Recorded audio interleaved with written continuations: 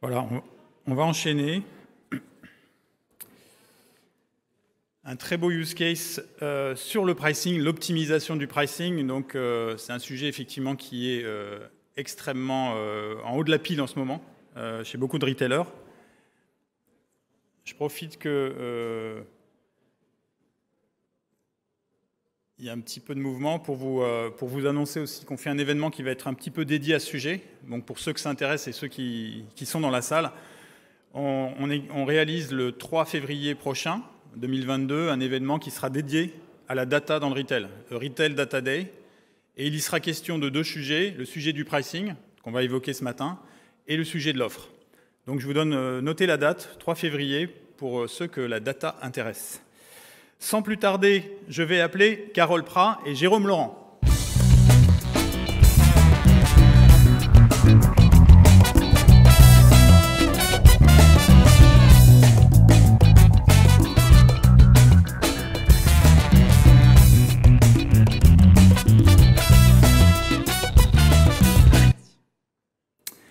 Alors, le, groupe Fnac Darty euh, utilise l'IA pour activer sa donnée interne, ticket de caisse, stock, euh, tout ça pour optimiser le prix en prenant en compte la sensibilité du, consommateur. C'est le sujet d'aujourd'hui.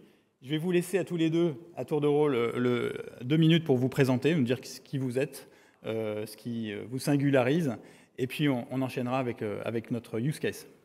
Merci beaucoup. Bonjour à tout le monde. Pour commencer, comme euh, la primeur a été mise sur la région du Nord, merci au Nord de m'accueillir, parce que moi je suis du Sud-Ouest. Euh, mais je suis très fière d'être du Sud-Ouest. En revanche, j'ai fait ma dernière année d'études à Lille, à Villeneuve d'Ascq, et mon premier job était chez Cofidis, donc je me sens très proche de la région. Et euh, après Cofidis, je suis passée directement, j'ai fait une quinzaine d'années dans le tourisme pour déployer euh, tout ce qui était revenu management et pricing. Et j'ai aussi travaillé dans les emballages cosmétiques, l'industrie française, euh, avant d'arriver chez Fnac Darty pour promouvoir le pricing dans le monde de la distribution. Merci. Alors, en fait, on a deux points communs, parce que moi aussi, je viens du Sud. et, euh, je suis basé à Barcelone depuis maintenant 10 ans, et on vient tous les deux de l'industrie du tourisme. Et c'est vrai que c'est une industrie où le prix et l'optimisation du prix euh, c'est structurant, c'est au cœur des problématiques depuis très très longtemps. Voilà, donc moi j'ai un background très e-commerce, data, etc. J'ai fait 20 ans de, marketing online et d'e-commerce. Et puis il y a 3 ans, en fait, euh, même 4 ans maintenant, euh, avec deux associés, on a fondé Pricing Up pour justement apporter notre expertise pricing issue du tourisme au retail et au e-commerce traditionnel avec un paradigme qui est très différent, qui est recentrer ça, le pricing sur le consommateur et pas sur la concurrence. Alors justement, Jérôme, qu'est-ce que ça veut dire que de mettre, c'est ce qu'on a titré aujourd'hui, hein, euh, comment Fnac Darty a mis le consommateur au centre de l'optimisation pricing? Alors moi, ce que j'ai constaté euh, depuis 4 ans euh, qu'on discute avec beaucoup de retailers, c'est que le, paradigme principal quand on parle de, on pense prix et ajustement de prix, c'est la concurrence. Donc tout le monde utilise soit de l'Excel, soit un moteur de règles qui utilise différents attributs pour, bah, pour définir le prix. Donc c'est le coût, la marge, et puis euh, un alignement sur la concurrence. Bon, ça, ça tire vos prix vers là-bas. Euh, l'idée, c'est de, de, shifter vers ce qu'on appelle du target-based pricing dans notre jargon, mais euh, c'est vraiment de, comprendre la sensibilité prix du consommateur, comment est-ce que la demande va varier par rapport à un changement de taux de marge, comprendre ça et exploiter ça pour aller identifier où est-ce qu'on peut aller chercher du business supplémentaire, où est-ce que je peux augmenter les prix sans perdre du volume.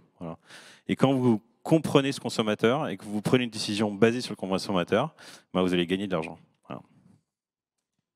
Et alors, euh, quels sont les, challenges particuliers en matière euh, d'élasticité, par exemple?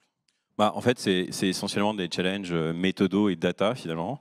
Il y a des erreurs à ne pas faire. Moi, je vois beaucoup de, gens qui pensent élasticité historique. Donc ça, c'est intéressant. Donc, je, regarde le passé pour comprendre le futur et prédire le futur en, pricing. Je trouve ça très très dangereux pour plein de raisons. Donc euh, il y a un problème, premier challenge méthodologique. Et ça, il n'y a que des experts qui peuvent vous aider à ne pas faire ces erreurs-là. Et ensuite, il y a un autre gros challenge qui est pour moi l'accès à la data. On en a parlé dans la, dans, la plénière. Là. La data, c'est votre socle de prise de décision. Plus elle est accessible, plus vous allez déployer votre projet rapidement et plus vous allez gagner de l'argent. Plus elle est propre, ben, plus vous allez être efficace. Donc, je dirais deux gros challenges. Alors le challenge, en fait, euh, il y en a deux gros.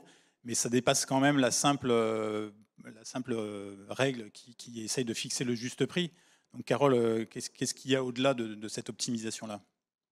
Alors pour nous, l'avantage de, travailler avec l'élasticité, c'est qu'on pense client. Très souvent, chez Fnac Darty, avant de travailler avec Pricing Hub, on avait le prix qui pensait beaucoup fournisseur et concurrence. Et après, on pensait au client. L'élasticité, c'est tout de suite le client qui est au cœur de la décision. Quand on lit les NPS, quand on lit tous les retours clients, le, premier euh, élément d'un choix client, c'est pas forcément le prix. En revanche, il est toujours présent dans les trois premiers indicateurs de choix. Donc, on ne peut pas le mettre plus loin. On doit le mettre au centre de la définition du prix pour être sûr de capitaliser là-dessus. Et l'élasticité, c'est ce qui permet de le faire. On, mesure sa sensibilité pour euh, optimiser ses actes d'achat, en fait. Sinon, euh, en termes d'organisation, quand tu parles d'optimisation de prix, tu t'as réfléchi, toi, dans, la transformation que tu as menée, en fait, au sein du groupe. Tu as travaillé sur plusieurs axes. Donc, tu avais l'aspect stratégique, recentrer l'optimisation du prix au niveau du client, mais tu as aussi bossé sur les organisations, tu as aussi bossé sur vraiment les outils et comment en fait euh, tu optimises ton prix, puis tu as bossé avec tes équipes sur l'exécution. Comment je m'organise? Tu peux nous en parler un petit peu, ça, sur euh, la partie euh, orga et... Alors sur la partie orga, chez Fnac Darty, quand moi j'ai rejoint le groupe, en fait, le, pricing était assez loin de la direction commerciale et le pricing ne décidait pas des prix. Il ne décide d'ailleurs toujours pas aujourd'hui des prix, mais c'est pas un souci. La, la, décision, elle, était, elle est faite au niveau des chefs de produits, donc des acheteurs en fait. Et euh, donc chacun avait une méthode de pricing. Donc c'était très euh, décentralisé et, euh, et, donc ce qui se passait en termes d'aide de, d'aide à la décision pour les chefs de produits, c'était des, des, alertes par rapport à la concurrence, des fichiers Excel envoyés à 200 personnes, plus ou moins lus, et, et donc pas, on était vraiment loin de, de mettre le pricing au, centré sur le client. C'était pas temps réel en plus? Et c'était pas en temps réel, c'était effectivement jamais en temps réel.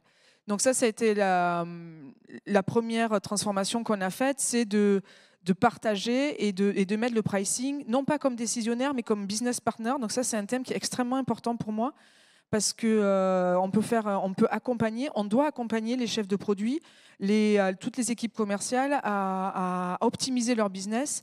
Et optimiser le business, c'est deux leviers, c'est euh, la marge bien évidemment, et sans le client, on fait pas de masse de marge. Donc ça, c'est le premier sujet. Et puis, euh, le, pricing est très central dans une entreprise, en fait, parce qu'il impacte euh, énormément de services. Donc, bien sûr, il impacte bah, le client, donc euh, la direction marketing de client, la direction commerciale, comme on vient de, parler, la logistique. on a des gros leviers par rapport à, notamment avec, on a eu quand même des, fortes croissances de, ventes sur Internet. Donc, ça a un impact sur la logistique. On a commencé et on va travailler avec Pricing Up pour euh, pricer différemment nos frais de livraison, pour penser et aux clients dans le sens du prix, mais aussi dans la capacité de les livrer au mieux et euh, dans des instants extrêmement courts, etc. Donc ça va être le deuxième levier du prix. Donc c'est euh, une transformation aussi transverse dans l'entreprise qui concerne vraiment tous les métiers de, de, chez nous en fait. Et ça, on peut le faire si on automatise parce qu'on n'est pas très nombreux, on touche beaucoup de gens, on touche beaucoup de clients, on touche beaucoup de références. Et donc, ce qu'on a permis de faire avec Pricing Up, c'est d'automatiser, comme disait euh, euh, Jérôme, concernant les données, etc. Et donc, on peut regarder un maximum de choses tous les jours en automatique et, comme vous disiez très bien, en temps réel, ou presque. Alors, on parle beaucoup de vendeurs augmentés en magasin. On va vers le responsable pricing augmenté en back-office Je pense je pense. Et on travaille de façon très proche avec les magasins. C'est, euh, on écoute énormément leurs retours. Et, euh, et eux, c'est pareil, ils font partie de la transformation par rapport au pricing parce qu'on leur donne de nouvelles clés pour pouvoir répondre aux clients. tout le monde a des nouveaux outils entre les mains. Euh, la concurrence, elle est hyper vive, mais pas tout le temps non plus. Et il y a des choses en plus. Et donc là aussi, c'est une grosse relation qu'on a avec l'exploitation. Alors, comment le pricing participe de cette transformation, justement? Comment l'outil participe L'outil ben, participe justement à son côté transverse. Euh, il nous permet, ben, la première chose, c'est euh, tous les outils basés sur des datas, euh, il y a moins d'émotions, il y a plus de rationnel. Donc quand on parle avec tous nos partenaires, que ce soit l'exploitation ou les commerciaux, ben, c'est beaucoup plus facile, c'est beaucoup plus efficace. Et il nous permet surtout d'avoir de très beaux résultats pour le moment. Je pense qu'il y, a juste un truc que je veux rajouter, c'est que dans, ce que tu dis, c'est qu'on est en fait un outil de pricing, c'est un outil d'aide à la décision. Mm. On n'est pas là pour se substituer à un catégorie manager ou un décisionnaire. On, pousse, on calcule des recommandations de prix qui prend en compte les contraintes, les règles métiers, les règles de chaînage, etc. Et puis voilà, on fait une proposition et à la fin, il y a quand même quelqu'un qui valide et qui décide si c'est euh, une bonne recours ou pas. Donc on est juste un outil pour euh, aider à prendre de meilleures décisions. En fait. Et ça, dans mon expérience, parce que euh, Jérôme et moi avons beaucoup d'expérience dans le, revenu management et le pricing. on a fait de, belles entreprises et il y a une chose qui est sûre, c'est que les boîtes noires ne marchent pas.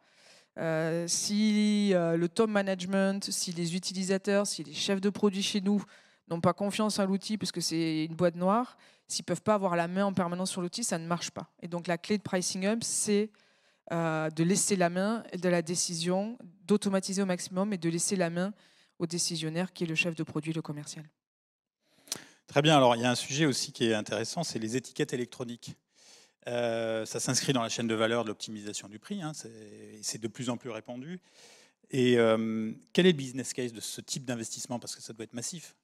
Alors justement, je vais rejoindre la plénière euh, qu'on vient d'écouter tous, euh, où il a été dit que les investissements dans, le retail, c'était très cher, c'était très lourd. Et eh les étiquettes électroniques, c'est pareil, ça coûte très très cher. Il y a l'entrée pour les étiquettes électroniques, c'est des, quelques, pour nous, on a 400 magasins en France, c'est plusieurs euh, millions, donc ça coûte très cher. Et le business case, en fait, il a été fait euh, une première partie qui est euh, sur, euh, bon, on limite les erreurs d'étiquetage, hein, qui, qui ont un premier enjeu financier et un énorme enjeu sur la, satisfaction client. On sait que c'est un gros irritant, donc ça, c'est une partie du business case. Mais celui qui nous a permis de déployer, et on va déployer sur tous les magasins de FNAC septembre 2022, c'est le ROI qu'on a avec Pricing Up sur les magasins. Donc euh, aujourd'hui, on a un très bon ROI de, pricing sur notre masse de marge, sur euh, notre canal digital de Fnac.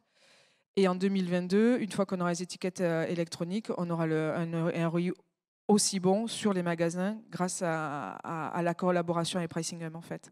Comment ça fonctionne? Le, branchement entre Pricing Hub et les, étiquettes électroniques? Alors, en fait, c'est même pas nous qui faisons le branchement hein, finalement, parce que Pricing Hub, on va consommer de la data à Fnac, calculer une recommandation de prix, la repousser à l'écran, et après c'est réinjecté dans le back-end. Et donc euh, nous, on réinjecte dans le back-end de Snack qui ensuite redistribue sur les différentes plateformes. Euh, donc nous, on n'est pas euh, en connexion directe avec le système d'étiquette électronique. Il y a un filtre qui est le, back-end.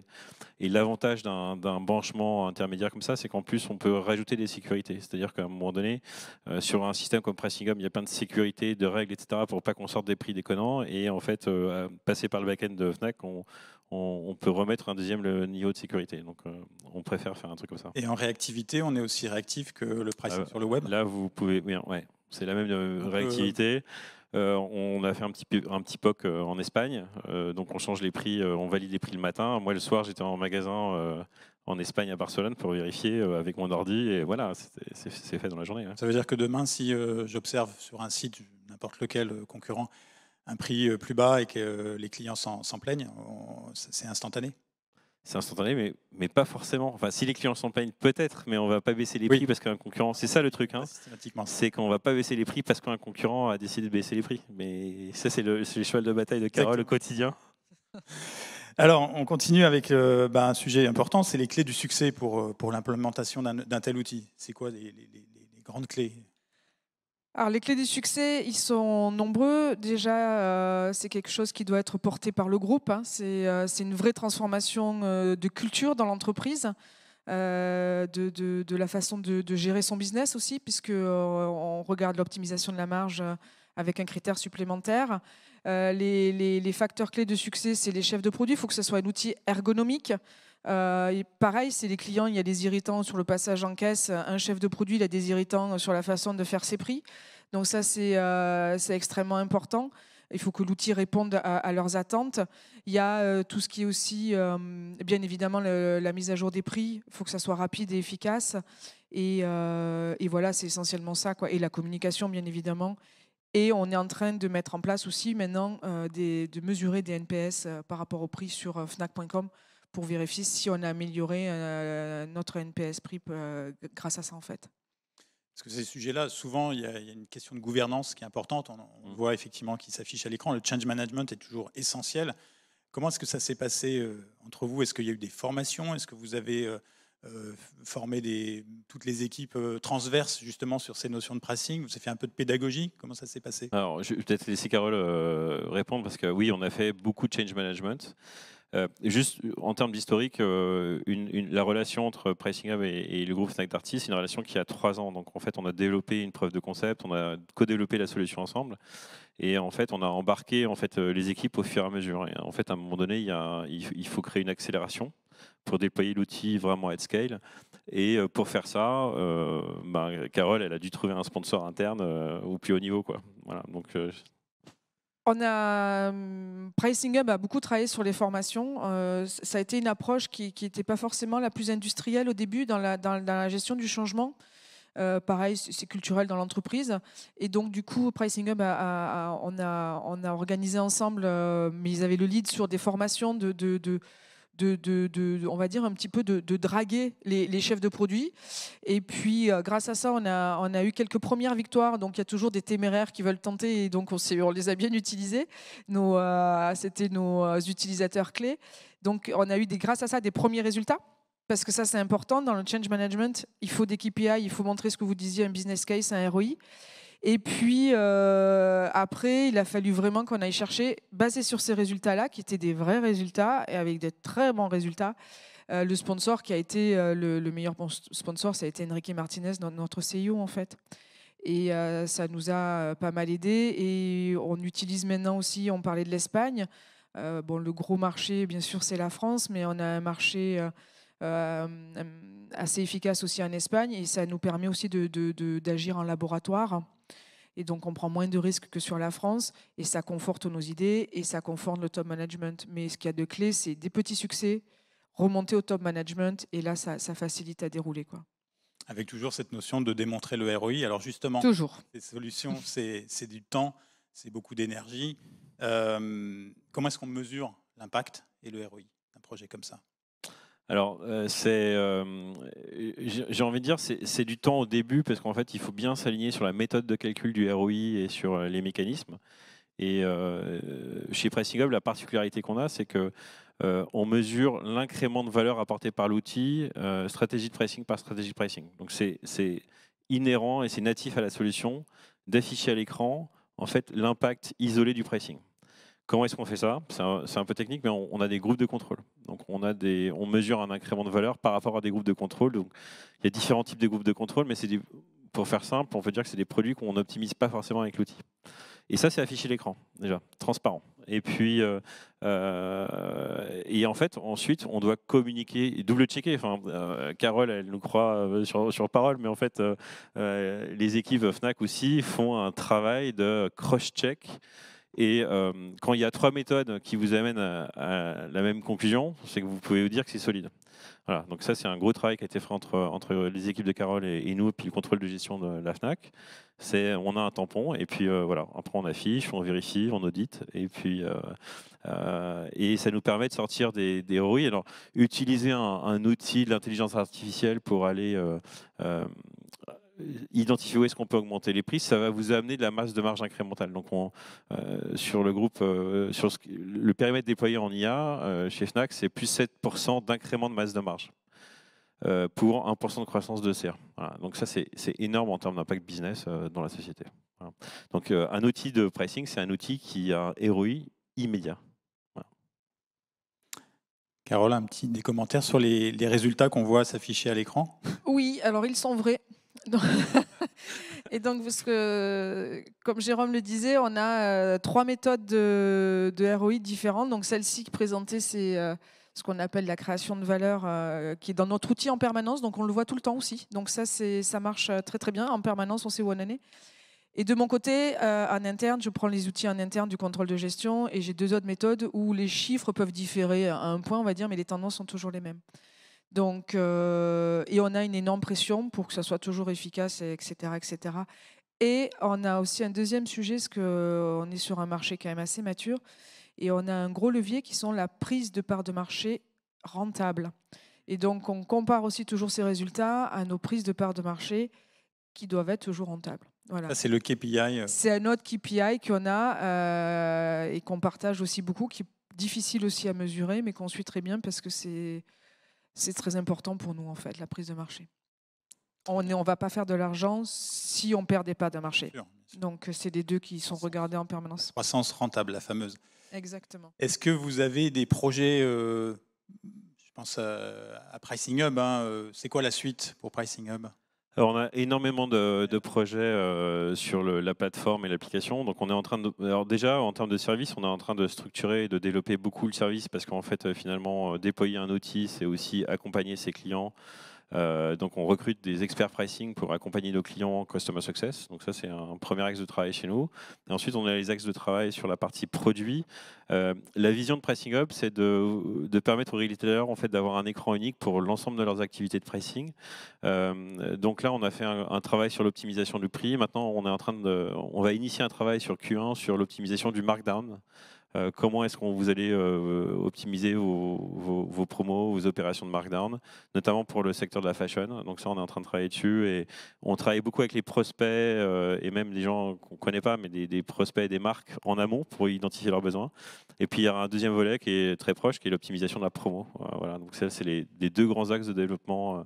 Euh, et et l'idée, c'est que vous- sur un écran unique, euh, les équipes euh, ont accès à tout ça, que ce soit coordonné, combiné, euh, et qu'on soit une plateforme centrale, ouverte, où on peut intégrer des systèmes tiers, euh, et on permet de, de piloter toutes les activités pricing de, de l'entreprise. Un petit mot de la fin, Carole? Quel conseil donner à ceux qui, démarrent cette démarche? Foncez dans le pricing. Moi, je suis une priceuse convaincue et, je sais que ça, y, a, plein d'avantages. C'est que quand il y a des crises et on, en parle régulièrement, c'est souvent le pricing qui est un facteur clé aussi de, résilience. Et quand euh, il y a de la croissance, c'est un facteur clé d'optimisation de la marge. Donc, il faut vraiment foncer.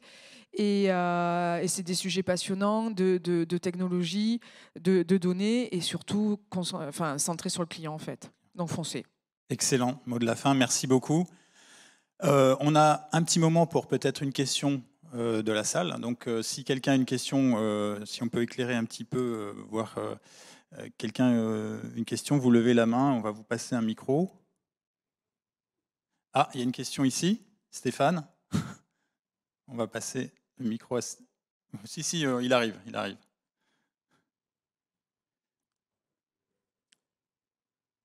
Tu, te présentes en deux mots qui tu es, ta société et euh, ta question. Oui, et en plus, il faut se lever.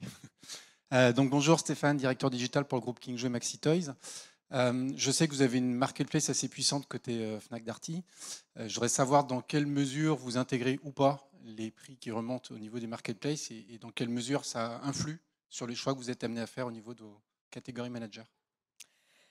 Alors pour être complètement transparente, euh, aujourd'hui, on, on gère pas très bien euh, parce que les, vendeurs sur la marketplace sont complètement indépendants sur leur prix. On a, on, a juste un système d'alerte quand, euh, quand on, a, on rencontre des, gros soucis, donc des extrêmes. Euh, on est en train de déployer la première étape qui est ce fameux indice prix dont on parle régulièrement et qu'on garde hein, toujours parce que ça permet de, simplifier, d'avoir un positionnement et une image prix. Donc là, on est en train de, travailler là-dessus. Euh, on, surveille nos indices prix entre ce qu'on appelle donc le stocké, c'est-à-dire nos propres produits et la marketplace. Et euh, on, a, déjà réfléchi avec Pricing Hub. Dans, l'étape d'après, euh, c'est de voir comment on peut justement mieux suivre, je ne dirais pas décider, puisqu'on n'est pas décideur des prix de la marketplace, mais mieux, sui- mieux suivre et accompagner nos propres vendeurs de la marketplace sur des prix plus euh, customer-centric et, euh, plus rentables pour eux et pour nous, en fait. Donc, on en a l'étape 1 et on a déjà fait euh, une, démarche avec Pricing Hub par rapport à ça. Mais donc, je peux laisser Jérôme qui, lui, a une vision plus large. Ouais, alors euh, ça peut paraître un peu étonnant de ne pas intégrer ex ante, mais la réalité c'est qu'il y a suffisamment de poches d'opportunités pour aller optimiser les prix de la Fnac, des produits Fnac sur la Fnac, aller chercher de la croissance, etc. Ça fonctionne très bien indépendamment de, la marketplace.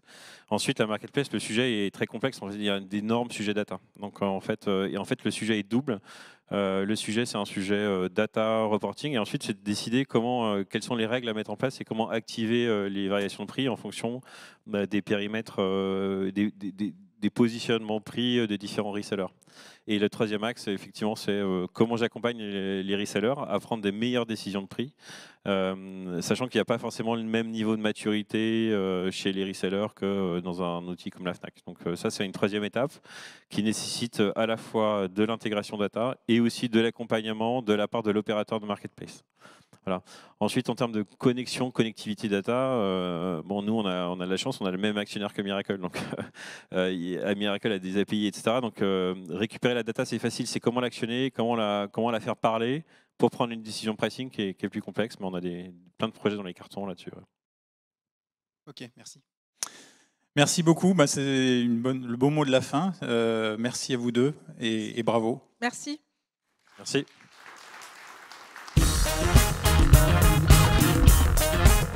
On va bientôt enchaîner avec euh, la table ronde RSE et Retail. Donc on se retrouve à, l'ADMI euh, dans, dans 5 minutes ici pour cette table ronde.